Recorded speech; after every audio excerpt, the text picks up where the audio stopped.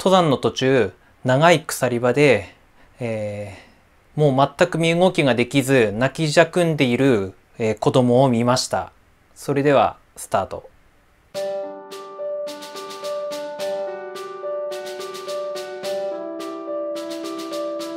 登山系写真家のトム川崎です。えー、私は2019年、えー、昨年の8月に北アルプスの唐沢から北穂高まで登りました、えー、その時に撮影した写真集をあの動画にまとめたのがこちらになります、はい、でその時に感じたエピソードを2回にわたってご紹介したいと思います。それでは今回は2回目なんですけれども今回は長い鎖場の中であの途中、まあ、1メートルちょっとですかねのお子さんがあの身動きできず鎖場にしがみついて止まってたんです。で、えーと、どういう状況だったかっていうとあのもうあの下は大きい岩でもうツルツルしてるんですよね。だから足をかけるような場所はほとんどないんです。でそこであの人工的にあの金具を打ち込んであの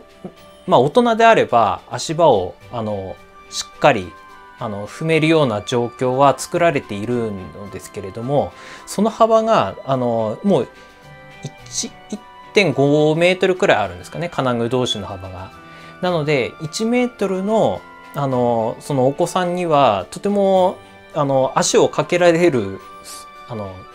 金具が足りないんですよ。でその中で身動きできずツルツルした岩の上でなんとか両手で鎖をしがみついて動けない動けないって泣きじゃくんでるのを私は目撃しました。まあ、当然あのそれよりもあの前後では人がたくさんいるので全部その子供待ちで今渋滞をしてるっていうのを目にしています。でその時にじゃあご両親はどうしてたのかっていうとあのお母さんは上にいてあの子供が無事にあの下に下まで行けるのをまあ見ているという状況。でお父さんお父さんで子供のお子さんの下にいたんですけれどもあの頑張れ頑張れって声をかけてあのそれだけしかしてなかったんですよね。いろんなやり方、まあ、あのご両親の考え方はあると思うのですけれどもちょっと私はこれはまあ本当に登山ってあの、まあ、楽しんでやるものだと思うんですけれども逆にトラウマになるんじゃないかってくらいあのちょっとまあ虐待とあの怖い登山ってお子さんにとっては紙一重だなというのはちょっと感じました。まあ、ちょっとこれはいろんなご意見あると思うのでもし何かご意見あればあの下のコメント欄とかにも書いてはいただきたいし私もこれから勉強していきたいとは思っているのですけれどもちょっと今回この件に関しては何が正しかったんだろうって結構いろいろ考えさせられた次第なので、えー、ちょっと動画にしてみました。で、まあ、全く別の山でのあの違う日のエピソードなんですけれども登山の人から聞いた話だとあのあるお子小さいお子さんを難しいコースに連れていくためにエレベーター方式の道具を自分で準備して難しいところはあのご両親で上と下であの紐を全部くっつけて